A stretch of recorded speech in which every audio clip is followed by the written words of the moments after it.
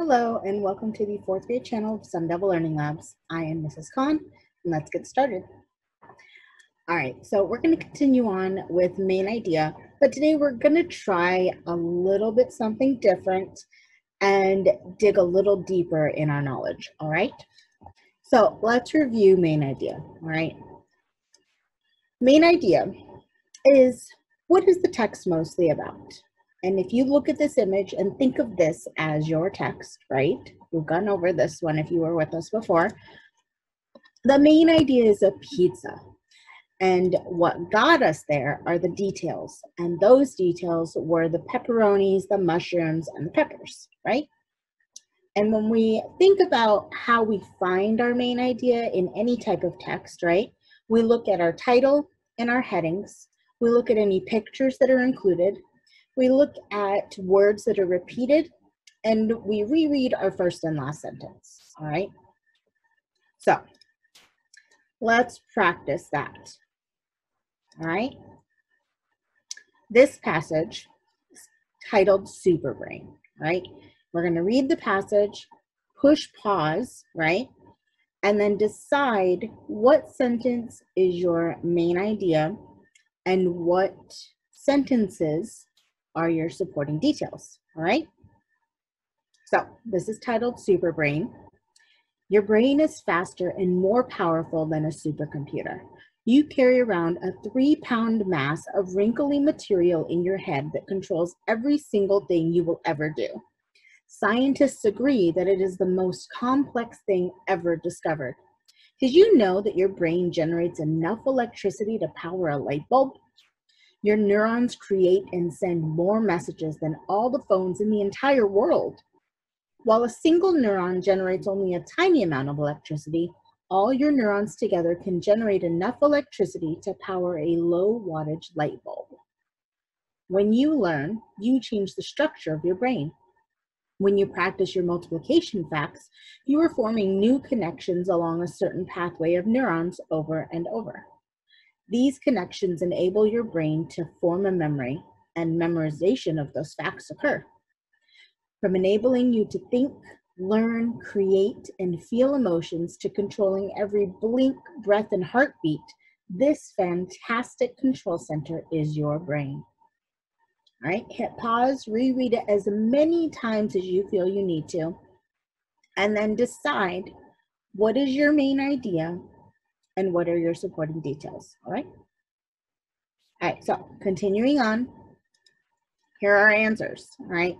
I have in red is our main idea, and in blue, those sentences are our supporting details, right? So our main idea, your brain is faster and more powerful than a supercomputer, right?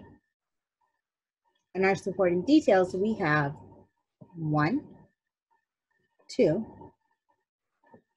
three, and four, right? Those four things are supporting details that tell us that our brain is faster and more powerful than a supercomputer, right? All right, so let's continue on. All right, so today's topic is working on main idea a little more, and we're gonna dig deeper using inferences, all right? Maybe you've heard that word before, and we're gonna go over it, all right? So we have two objectives today. And our first one is I can infer the main idea of a text using details from the text, right? And our second objective is I can convey in writing the main idea of a text with supporting evidence. Right? We're going to work to do both of those things today. So, when we think about anything when we're reading, right? We ask ourselves different types of questions. Or in an assignment or test, you have different types of questions that are asked of you, right? And those types are right there, right? That is a question that the answer is right there in the story. You don't have to go any further than just looking, right? With keywords, those keywords would be who, what, when, where, how many, and does, right? Then we have think and search, which is the answers in the story, but you have to piece it together, right? And our keywords are find an example, summarize, compare and contrast. How did, and retell, right? And our next one is author and you, right? That type of question asks you to use your schema or your background knowledge and the text to make an inference, all right? And those keywords are what do you think? Make a prediction. What is the main idea? What is the author's purpose? Suggest another title. And why did the author write? Right? And our last one is on my own, right? That is where you just use your background knowledge, what you know, and it's what is your opinion, all right? Things to look for in questions are usually how would you feel if, or what would you do if, or have you ever, right? So for today's purpose, we are going to look at author and you, all right? Because I want you to be able to use the evidence in the text and your own background knowledge, what you know to make an inference and figure out what the main idea is, right? Because in our list, one of our key words to look for is what is the main idea, right? So let's continue on. All right, so what I have here is a bookmark, right? It's something to use as a reference. You can do it, you can make this on the top of your page, you can create your own bookmark, anything like that, all right? I will show you my example that I already made, all right? So I have, this is a very big piece of paper for me, um, my title at the top, which said making inferences, right? And then in my first box of my puzzle pieces, right? Because putting these things together is like a puzzle. You need all of the pieces in order to have your final inference. So our first box I have a magnifying glass. And underneath that, I have read, right? So we read what is in the text and we look for any clues, right? The second one, we add these together. I have a thought bubble, all right? And underneath that, I have think. We think about what we already know, any background knowledge, our schema, right? And then putting those together, we should be able to come up with our inference, and I have a light bulb. Because when we put together our background knowledge and the evidence from the text, we should be able to come up with an inference, all right? All right, so with our next little tiny thing, right, we're gonna go through the steps of making an inference, right? The things that you want to do. And in this process, I want you to be able to say this statement. When I infer, I figure out something the author didn't completely explain in the text. All right? So let's look at our next thing. I have this set up as puzzle pieces just like our bookmark, right? And the first step that I want you to be able to do, you can do this when you are reading a text, when you're trying to figure out the answer to a question, right? An inference is something that comes naturally to you, all right? But being able to break it down into these pieces helps you to be able to identify what is from the text and what you actually know and how they go together, all right? So, our first puzzle piece is what are the clues in the text, all right? We'll have clue number one, clue number two, clue number three, list them all out or highlight them or underline them if you can, all right? The second thing to do is activate your schema or your background knowledge and ask yourself, what do I already know about this? All right? Now, our last piece is make an inference and put it all together, all right? When you put your clue and your background knowledge together, and you make your inference. Does it make sense? Does it answer your question? All right. Those are the simplest steps. You automatically do them on your own when you're reading or when you're in a situation, right? All right. So that is the basics of inference. All right. So let's keep going. Let's practice this inference. All right. Something pretty simple. What I want you to do is look at this image. Okay. Decide what is the main idea of the image. And remember, yesterday's lesson went over main idea versus main topic, right? Identify what the main idea is, and if it's available, what the main topic is, right?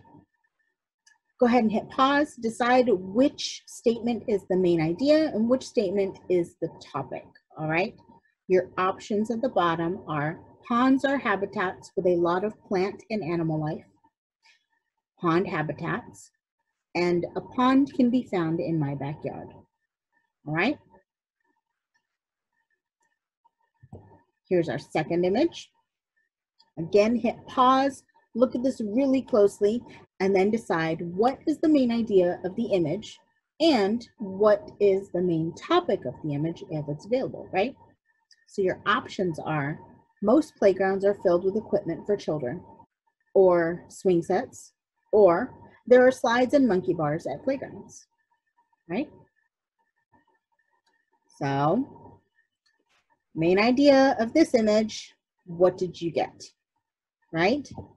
I got ponds or habitats with a lot of planted animal life. That is my main idea for this image, if this were a passage, right, if I could put all of the details in words and put it together, that would be my main idea.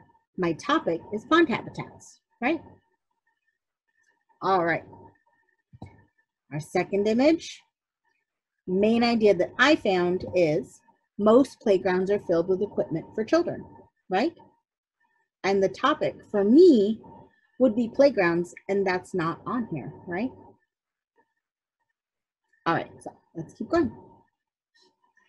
When we think about inferencing, all right, think of an inference as an educated guess, right? because we're using clues from the text and we're not making random guesses, right? If I looked at this book, right, the title is Everybody Cooks Rice, and the back, right, the back reads, Carrie travels from one house to another looking for her brother at dinner time. Each family invites her in for a taste of what they are cooking. Yes, everybody cooks rice and everybody eats rice. These commonalities do bring us together, a lesson worth repeating again and again.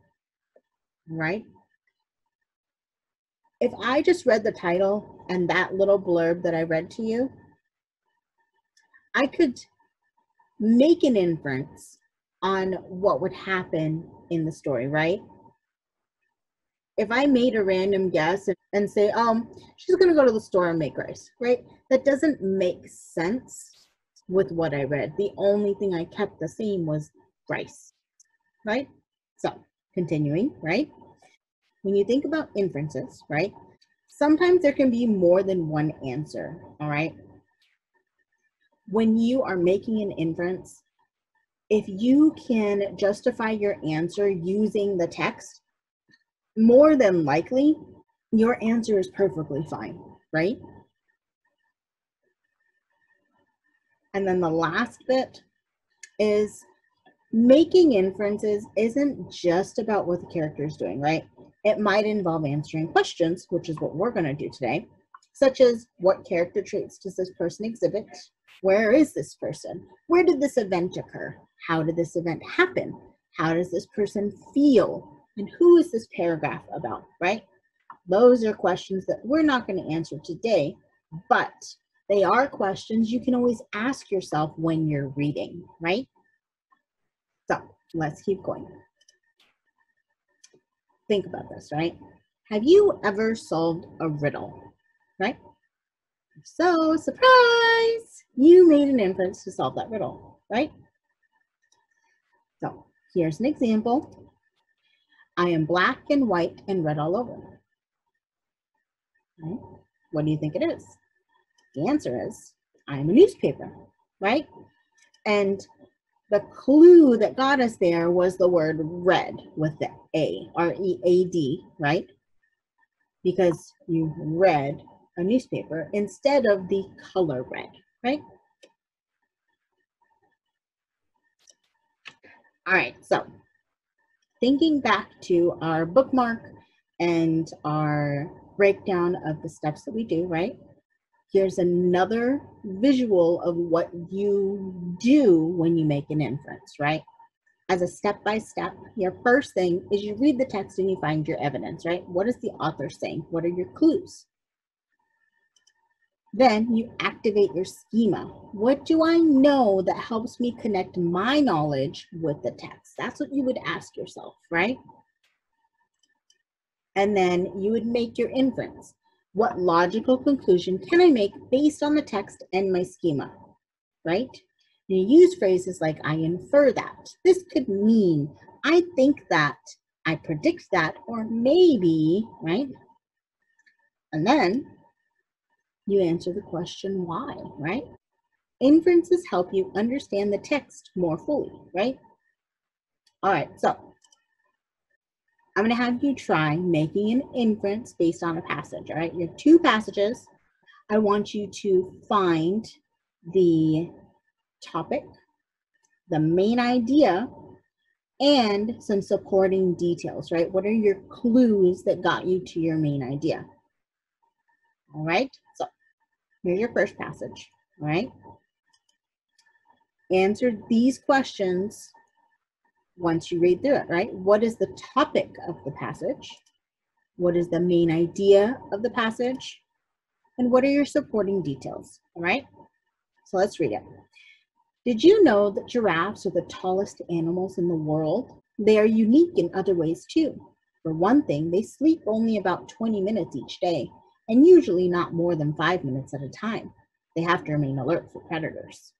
Also, every giraffe's coat is unique and varies in color from white to nearly black, depending on what they eat and where they live.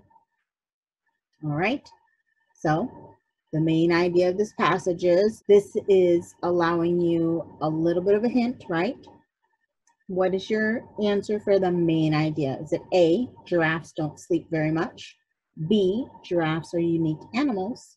C, there are many animals in the world. Or D, no animal is taller than a giraffe. Right, hit pause, answer your three questions, right? All right, so what I found is my topic is giraffes, right? The whole thing is talking about giraffes. The main idea of the passage is giraffes are unique animals, right? And the details that help me to support that statement are that giraffes are the tallest animals in the world. They sleep only 20 minutes a day, and every giraffe's coat is unique, right? Those three things put together say that giraffes are unique, right? If we tried to say giraffes don't sleep very much is the main idea of the passage, the rest of the details don't support it, right? Right. All right, so look at our second passage. This one does not have your options at the bottom, right? So you got to really think about it and infer your answers, okay? So same questions. What is the topic of the passage? What is the main idea of the passage? And what are your supporting details, all right? So this passage reads, Homemade pizza is delicious. First, make the dough from flour, water, and yeast. After that, begin making the tomato sauce. Next, add any vegetables you like. Then, bake it in the oven. After a short time, the kitchen begins to smell delicious. Soon, it's ready to eat. All right, hit pause Think about it. What is your topic, your main idea, and your supporting details, all right? All right, so for me, the topic is pizza, right? And the main idea of the passage is how to make pizza, right? And the details that got me to my main idea are first make the dough, bake it in the oven, And then as I read those, I thought to myself, this is kind of like instructions. I've read a recipe before. That's what it sounds like, right? All right, hopefully those two passages, you got the same answers or similar answers, right? So that's the end of today, right? So today we learned how inferences can help identify the main idea of a text. We also learned the steps to making an inference and how to find the main idea when it is not explicitly stated, right? All right, so if you notice, today's lesson was fairly short. I did that because I want to challenge you to do something, all right? I challenge you to read a book or watch a TV episode or watch a movie, anything like that, and decide what your clues are to a scene or a chapter or anything like that, right? And then what is your background knowledge that you're putting together to make your inference of something that wasn't stated, right? Practice your inference, whether that's reading, watching a movie.